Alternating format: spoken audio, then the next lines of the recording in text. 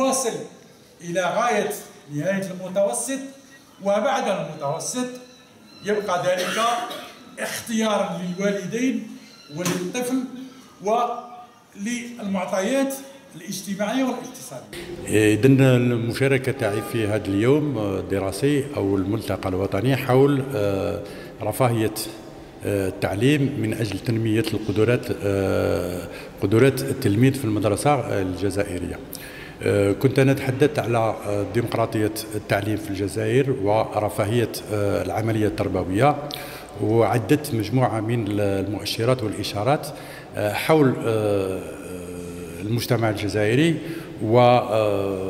والملخص هو أن المجتمع الجزائري أعطى أهمية كبيرة لعملية التعليم حيث أن الجزائري بإمكانه الولوج إلى المدرسة من المدرسة الابتدائية إلى نهاية التكوين الجامعي فيما بعد التدرج بالمجان وبمزايا لا يمكن أن نجدها في مجتمع آخر.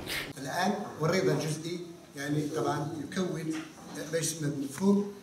طبعا المحاضرة نتاع اليوم التي قدمتها في هذا اليوم الدراسي كانت تتعلق بمفهوم آه، جودة الحياة والرضا عن الحياة أو الارتياح الشخصي والبيانات في الجزائر وفي آه، غيره من الدول وكيف تطور هذا المجال تاع البحث وأصبح آه، طبعا ميدان آه، ينتج الكثير من الأفكار الجديدة والكثير كذلك من التقنيات العمل التي تتبناها الدول سواء في جمعها لمعطياتها وتوزيعها أو سواء من حيث يعني بناء سياسات المرتبطه ب آه، يعني تحسين مردوديه النظام التعليمي.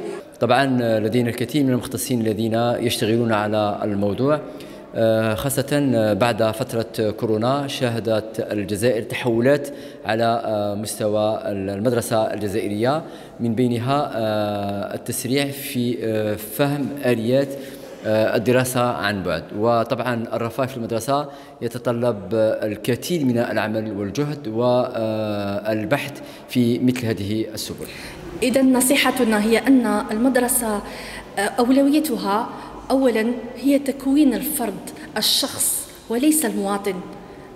ويجب أن تراعي الحالة النفسية للتلميذ قبل كل شيء.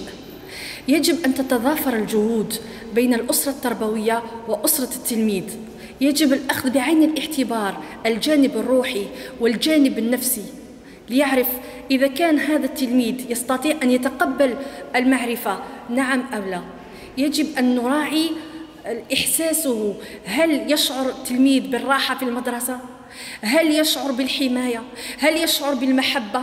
هل يشعر أن له آه، دور في هذا في هذا المجتمع؟ هل يعرف أن له هدف في الحياة؟ هل يعرف لماذا يدرس؟